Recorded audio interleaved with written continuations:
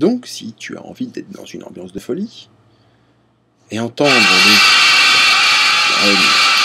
public déchiré, des et t'applaudir, eh bien, ce concours est pour toi. Donc, tu as jusqu'au 22 février pour remplir le document PDF qui se trouve ci-dessous et nous le renvoyer. Ensuite, un jury délibérera et retiendra 10 écoles qui s'affronteront lors de la grande finale qui se tiendra à Marseille.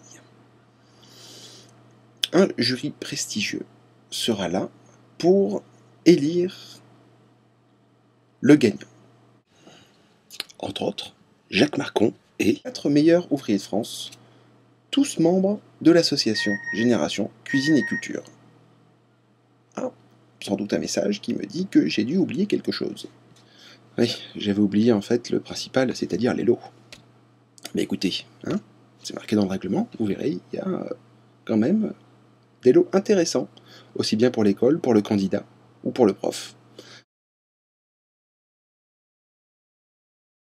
N'oubliez pas de venir nombreux à faire des bruit et soutenir votre candidat et votre école.